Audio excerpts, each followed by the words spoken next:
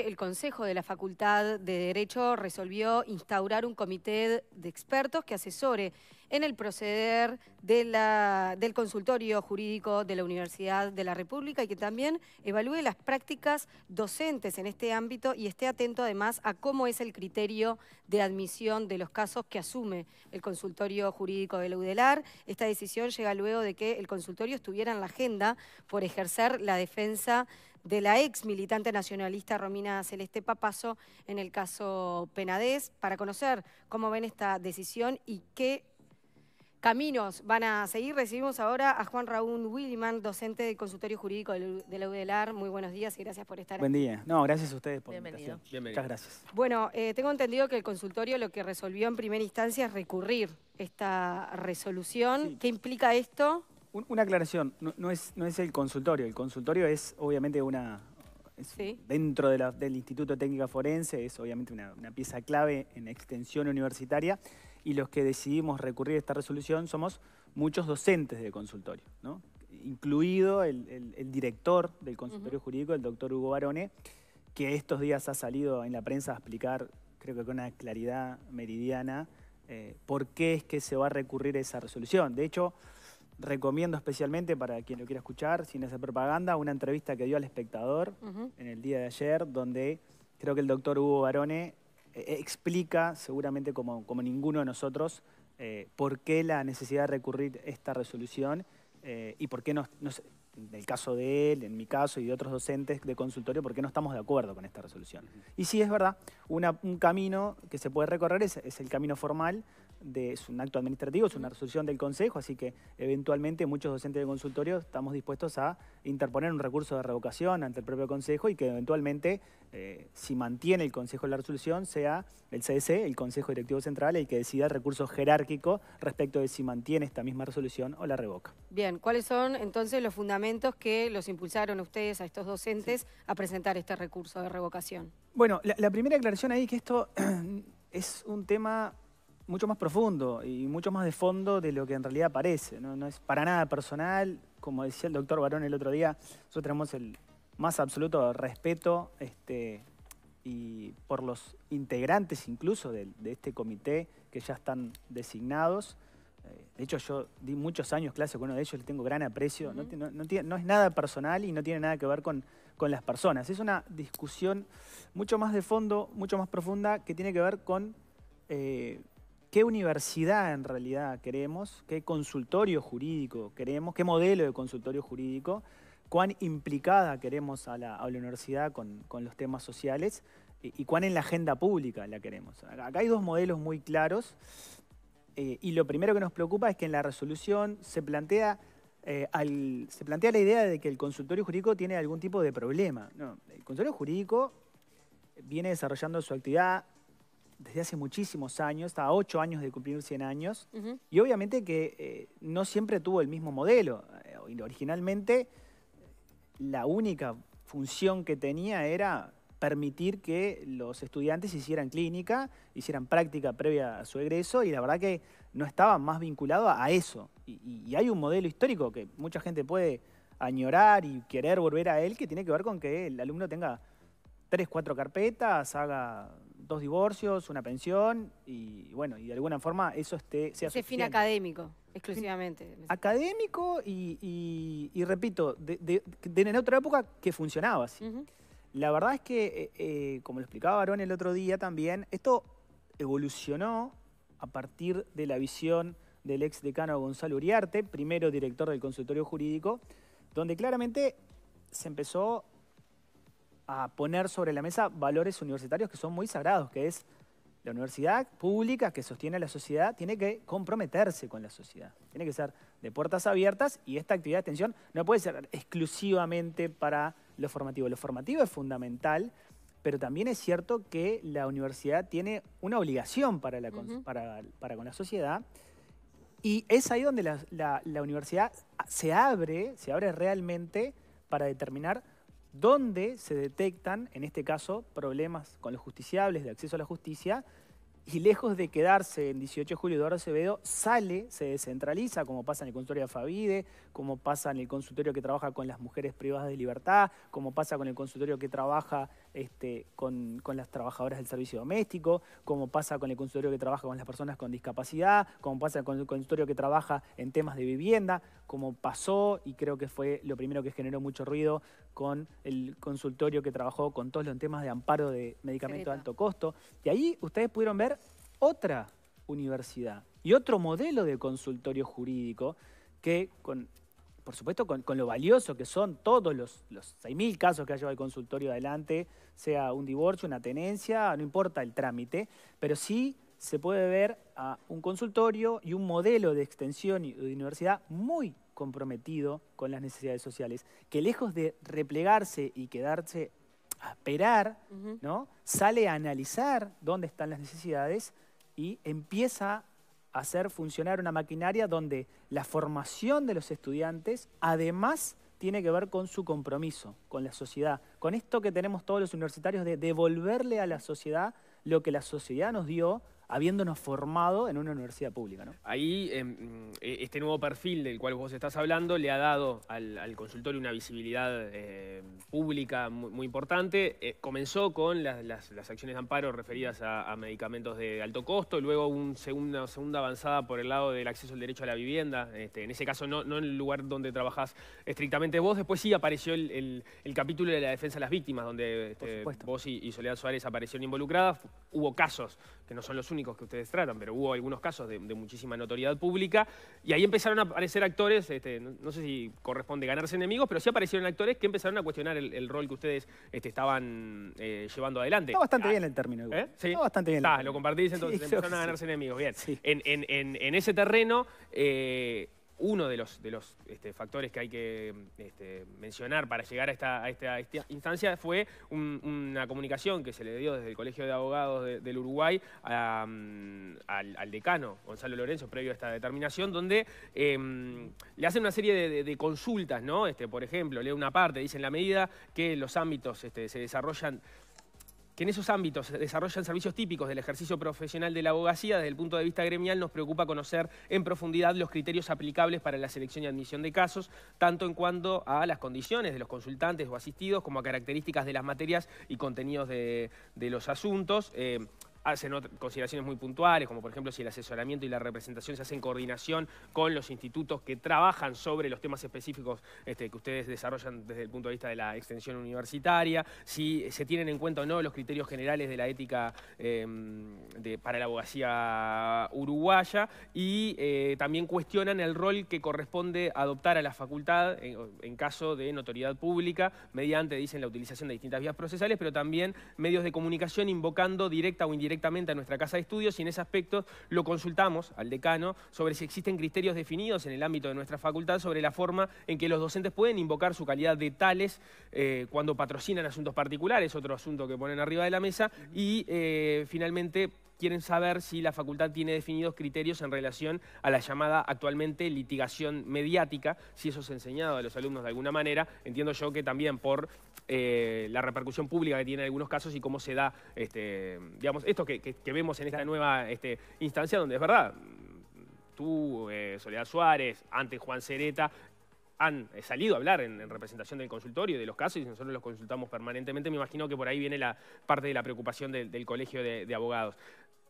A partir de esa carta, o por lo menos posteriormente a esa carta, es que se toma esta resolución de parte del Consejo, donde, por ejemplo, los requisitos de admisión de casos, son que, son uno de los temas que se plantean en la carta, aparecen eh, como una de las innovaciones que va a ser este, este Consejo Consultor eh, que se dispuso de parte del, Consejo. Eh, ¿Qué lectura o qué respuestas tenés vos respecto a estas preocupaciones del Colegio de Abogados? Bien.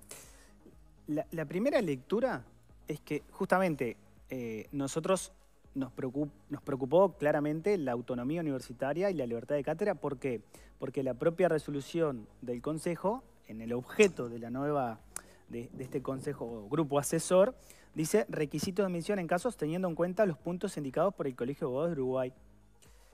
¿Y por qué hablamos de, autonomía universitaria y libertad de cátedra? Y la primera lectura más importante para nosotros es esa, porque gremios que representan intereses naturales de los gremios existen, van a existir, en este caso Colegio de Abogados, al cual yo integro y respeto un montón, pero no necesariamente van a, estar en coincidencia con los intereses por los cuales vela la universidad y la Facultad de Derecho. Entonces, eh, está muy bien cuestionarse un montón de cosas del funcionamiento del consultorio, pero a la interna, porque si es por eso, en realidad el Consejo ha recibido carta de la Asociación de Abogados Penalistas eh, que tienen sus propios intereses, que van a coincidir o no, y debería recibir carta de la Asociación de Defensores Públicos que sus intereses van a coincidir o no. ¿Por qué? Porque todos representan intereses distintos. Entonces, si la facultad, el Consejo de la Facultad se va a poner en atención de cada uno de los intereses de distintas entidades gremiales, no estamos haciendo lo que nos corresponde hacer a nosotros. Pero eso no es, es una idea mía, eso surge literal del punto A. Entonces, voy ver un ejemplo muy simple. La Asociación de Abogados Penalistas está a favor de la modificación de la ley 19.580. Eh, Se pronuncia a favor. Es una entidad gremial, tiene sus propios intereses y está a favor de la modificación. Después vas a encontrar a la Asociación de Defensores Públicos que está en contra de la modificación. Porque es otra entidad gremial que tiene sus propios intereses y claramente le parece que eso no corresponde y que habría que fortalecer desde el punto de vista logístico, humano, económico a la Defensoría para poder cumplir con esa ley y no modificarla. O sea, es muy fácil leer que cada grupo de interés tiene sus propios intereses. La pregunta es, ¿la Facultad de Derecho de la Universidad de la República va a salir a responder a intereses gremiales ajenos? Lo que, lo que vos estás señalando además es que, eh, y porque yo no lo leí completo, la resolución de la, de la facultad en ese punto A que vos mencionabas falla específicamente sobre la definición del Colegio de Abogados. Dice, eh, créase un grupo externo de expertos en actividades forenses a efectos de recomendar a este Consejo las mejores prácticas en materia de atención a consultantes desde el consultorio jurídico de la facultad y en particular requisitos de admisión de casos teniendo en cuenta los puntos indicados por el Colegio de Abogados del Uruguay en su eh, nota de la fecha. Es decir, bueno, en, ese cúmulo de intereses que pueda haber de, este, de parte de los distintos abogados, bueno, se está laudando eh, en función de lo que plantea el Colegio de Abogados. Si es por eso y esto lo grave, entonces los distintos consejos de las facultades van a seguir recibiendo intereses de distintas gremiales que tienen, pueden coincidir en el interés, pero puede ser claramente contrario. Pero la universidad va a buscar sus propios intereses. Los valores universitarios nos llevan por un camino que puede muchas veces coincidir con los intereses gremiales de, tal o cual entidad y muchas veces no. Esa discusión es interna, no es a partir de eh, lo que plantea un externo. Esa discusión, que incluso lo, lo vinculo esto con lo que mencionabas al comienzo de la entrevista vinculado al rol social, a ese compromiso social que tiene la universidad y el consultorio. ¿Está mal en este proceso, incluso ejerciendo la autonomía universitaria, valorar, convocar eh, em, a distintas expresiones de la sociedad civil que hagan sus aportes, tal vez desestimar algunas, pero considerar otras, como la del Colegio de Abogados, donde muchos, muchos este, egresados de la Universidad de la República lo integran, es verdad que no es orgánica ni nada, pero está integrada por muchos este, egresados de la universidad. Hacen una sugerencia, resuelven en este proceso de estudio dentro del Consejo contemplarla, no de manera excluyente, porque lo que dice es, teniendo en cuenta, no exclusivamente esto, teniendo en cuenta, sí, los aportes que ah, hizo en este sentido el Colegio de Abogados, porque los, los entendieron relevantes. A los que no entienden relevantes lo desestimaron. Pero en este proceso de integrar a la sociedad civil, pues estos aportes los consideraron relevantes para tenerlos en cuenta y perfeccionar la actuación del consultorio.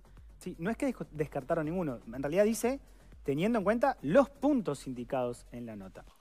¿Alguna aclaración y también para contestar a Nicolás y, contestarte a ti? Muchos de los puntos que están en la nota del Colegio de Abogados son información pública que está colgada en la página web.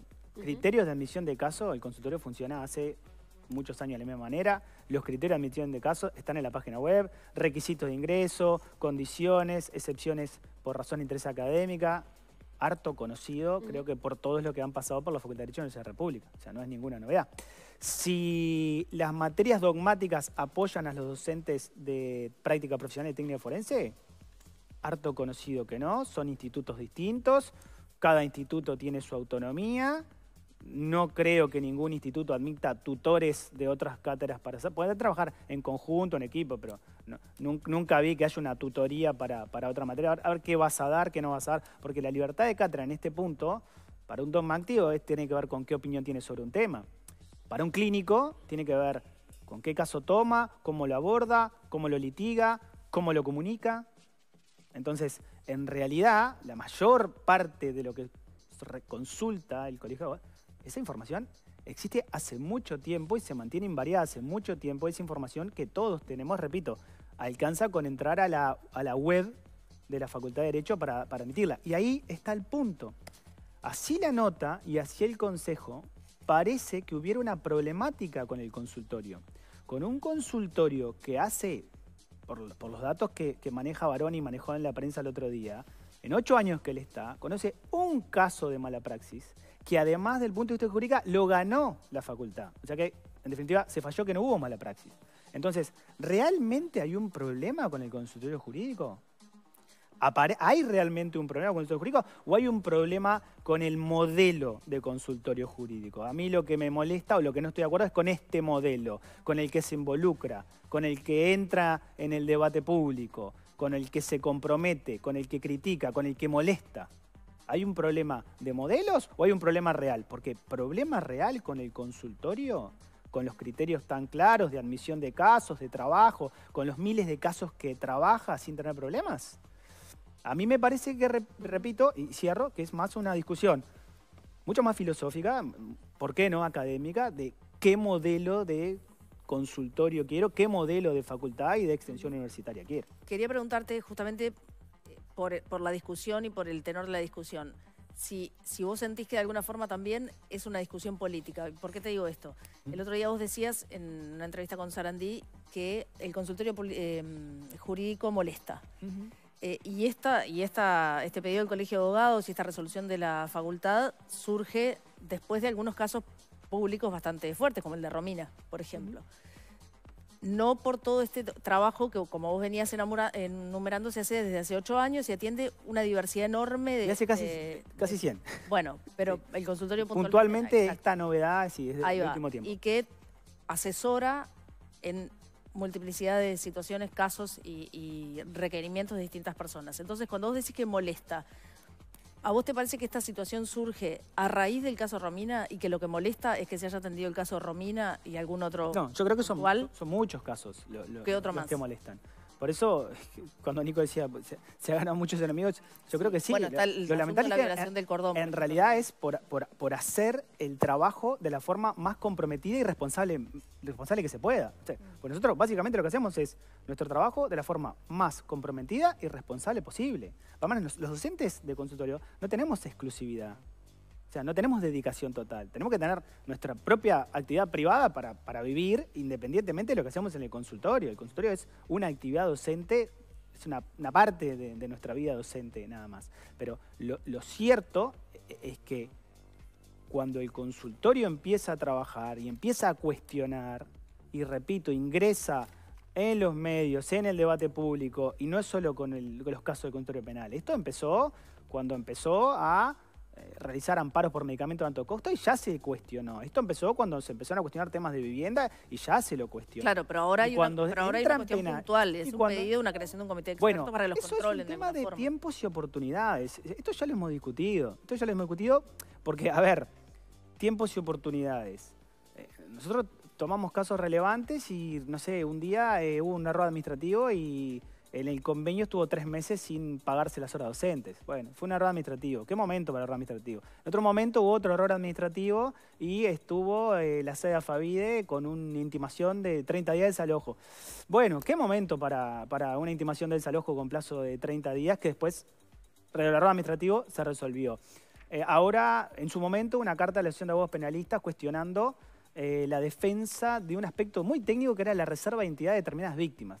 Reserva de la identidad que después un tribunal de apelaciones falló y dijo, esa reserva de identidad está perfectamente dispuesta, no solo lo dijo la jueza primera instancia, lo dijo el tribunal de apelaciones, dijo esa reserva está perfectamente dispuesta, esa reserva se mantiene hasta hoy. O casualidad, después había todo un aparato, todo un aparato logístico imponente que usaba recursos del Estado de forma ilegítima para salir a buscar y encontrar víctimas. O casualidad, hay seis personas condenadas por ese aparato político que todavía esa investigación de paralela no se terminó. Hay cinco condenas, pero en todo caso se sigue investigando. ¿no? Entonces, el tema hay temas de oportunidades también. Entonces, eh, yo entiendo que la gente diga, bueno, ¿y, qué pasa? Ahora, justo ahora, esto fue de toda la vida, es por varios temas. Yo creo que realmente es por varios temas. Yo creo que hay muchos temas, ¿no? Pero también las oportunidades no son las mejores. Justo también llega la carta del Colegio de Abogados ahora y justo ahora también el Consejo decide eh, esta especie de auditar o conseguir un consejo asesor que, que los aconseje. Me queda una duda. de, de oportunidades, yo, pero yo no, no, no adjudico ninguna intencionalidad porque no tengo cómo. Sí, sí sé eh, lo, objetivo. Lo objetivo este es la resolución. Este grupo asesor que va a estar conformado incluso por egresados de la UDELAR y ex docentes sí, claro. de, la Facultad de Derecho, ¿tiene un accionar vinculante al consultorio o su accionar es meramente a nivel de brindar sugerencias? Porque eso es una clara diferencia. No lo sabemos. Si el consultorio no, no, perdóname, si el consultorio no no entiende que la sugerencia que da este grupo eh, es, válida para tener en cuenta, no la tendrá en cuenta. Ahora, si no tiene un insumo más para poder perfeccionar su accionar que viene de partes de ex docentes de la universidad. No creo que el espíritu sea este, tan distinto a este, eh, este, este espíritu que tú mencionabas al, al, al, comienzo, que no es solo el fin académico y formativo, sino que va por un rol social dentro de la comunidad. Bien. La pregunta es si las cosas que se van a analizar, por ejemplo, es las condiciones y formas de comunicación mediática, claramente lo que hay un intento de regulación de qué se puede comunicar y qué no. No sé si la palabra es regulación, porque no, sé pero la palabra es un imperativo o un consejo que ayuda, puede ser tenido en cuenta o puede ser desestimado por el propio consultorio. Bueno, no lo sé, porque acá también dice otras cosas, por ejemplo, necesidad de resolución del consejo o otro grupo para admisión de casos con repercusión institucional. O sea, dice, en realidad, ¿no? Sí, bueno, está mal escrito, pero todos interpretamos que, es institucional. Entonces dice, necesidad de resolución del Consejo de otro grupo para la admisión de casos. ¿A, ti te parece que en esa frase, así como está, va a quedar a criterio del docente si admite el caso o no? Porque lo que está planteando ahí es evaluar si hay que pedir permiso al consejo o a otro grupo para tomar un caso, pero no la pensión alimenticia ni, las visitas o lo que fuera. Casos de repercusión institucional. ¿Y por qué te decía que esto está vinculado con la libertad de cátedra? Porque la libertad de cátedra como derecho fundamental no lo podés mirar aislado. La libertad de cátedra está muy vinculado a la libertad de pensamiento, a la libertad de expresión, a la libertad de comunicación, al derecho a la educación, al impacto que esto tiene sobre el debate público, o sea, no es que yo agarro y solo tomo, ah, no, libertad, libertad de cátedra, autonomía universitaria. La libertad de cátedra y autonomía universitaria está especialmente regulada en ese sentido. O sea, estamos hablando de valores muy importantes. Por eso digo que esto no es un tema personal, es un tema de fondo. Es un tema de justamente cuán comprometida quiero yo a la universidad con estos temas y si efectivamente, por ejemplo, para tomar casos de repercusión institucional, hay que pedir autorización. Porque además, en, el caso del consultorio penal, nosotros no elegimos los casos. Esa demanda. Nos cae un caso y, bueno, tiene repercusión institucional. Todos sabrán que los deriva a fiscalía, llegan solos, etc. Pero en el caso de la clínica de litigio estratégico, que su idea es litigar en temas estratégicos, son los alumnos y el profesor el que se sienta a decir, a ver, ¿qué temas son de, de relevancia social? ¿Va a venir el, asentamiento hacia la facultad? ¿En serio? ¿Va a llegar? ¿Esas personas no tienen para los boletos a la facultad a plantear? ¿O somos nosotros los que tenemos que plantearnos que acá hay un problema con el derecho a la vivienda? Entonces es la facultad la que va a ir a la, al de Nuevo Comienzo a planteárselo. O para, ese es un caso de clara repercusión institucional, porque cada vez que se cuestiona un derecho humano fundamental que no está siendo contemplado, va a ser un caso de repercusión institucional. Hay que consultarlo entonces. Para ti la, única interpretación que entra ahí es que necesariamente deberían de pedir permiso, porque tal vez los que redactaron esto te dicen, no, hay otras opciones, no, no, es ese el imperativo que, que buscan. No lo sé, lo literal es literal. Necesidad de resolución del Consejo u otro grupo para la admisión de casos.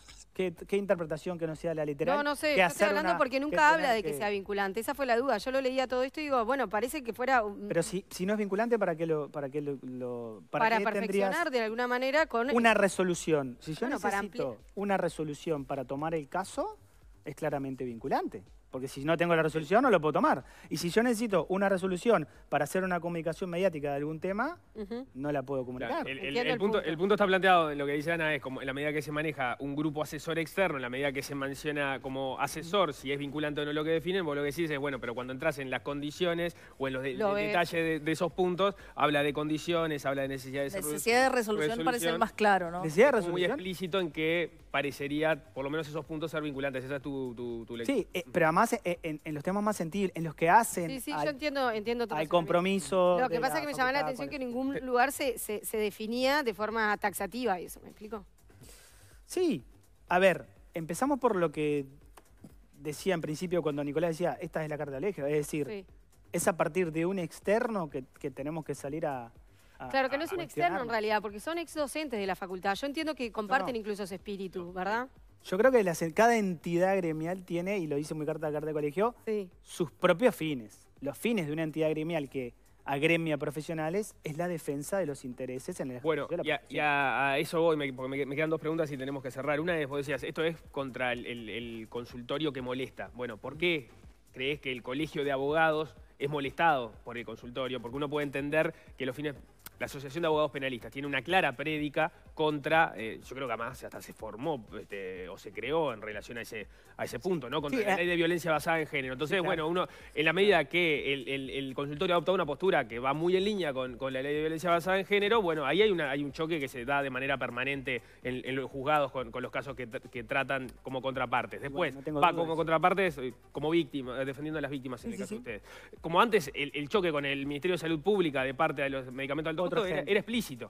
Ahora, con el Colegio de Abogados no me queda tan claro por qué, ¿no? Porque, porque si, si, mirás a los abogados, vos lo decías, la Asociación de Abogados Penalistas, que me imagino que los, este, de, los defensores, perdón, de oficio también integran el Colegio de Abogados, tienen fines distintos tienen eh, intereses distintos, por ejemplo, respecto a la ley de violencia basada en género. Ahí están mucho más de, este, en línea con su postura. ¿Por qué el Colegio de Abogados termina siendo molestado por, por el consultorio? Esa es una pregunta. E-, eso no lo sé. Tal vez dentro del colegio que hay una hay distintos hay distintas eh, eh, comisiones, ¿no? Tal vez sea también la Comisión de Derecho Penal que no esté de acuerdo con esta actuación. Es decir, seguramente, seguramente no. Muchos no están de acuerdo con que cuando se litiga o cuando se da clase, se trabaje con la perspectiva de género. En realidad hay una resolución de la facultad que indica que debe ser así, pero justamente es la libertad de cátedra la que permite que en tal cátedra se diga la perspectiva de género está desechada, no es un tema de perspectiva, es una ideología, lo descarto. Ahora, nosotros sí tomamos el consejo que nos rige como facultad, que entendemos que se debe trabajar con perspectiva de género. No hay ninguna ideología, es una herramienta, es una variable de análisis que hay que trabajar fundamentalmente en determinados casos. Y ahí se puede ver la libertad de cátedra con absoluta expresión. Hay cátedras que no están de acuerdo con esto y cuando dan su clase, lejos de apoyarla, la critican. Está muy bien, pero de eso se trata. De que ¿Pero entendés que el Colegio de Abogados está en esa línea eventualmente... O es lo por lo menos de... Se puede interpretar que claramente no, no, pueden estar de acuerdo ni con, la, ni, con el tipo de trabajo ni con la comunicación mediática de este trabajo. Pero a veces, y, para cerrar, a veces no solo se litiga para ganar el caso. el aprendizaje de los estudiantes no va por ganar o perder. Claro. Y, el, y el aporte y el compromiso con la sociedad no va por ganar o perder. Sino el mensaje, lo que impacta. Muchas veces para cambiar una forma de fallar o una ley se requiere martillar muchas veces. Como que si tú me dijeras, bueno, ¿qué, es lo más importante de la actividad del consultorio en la Operación Océano?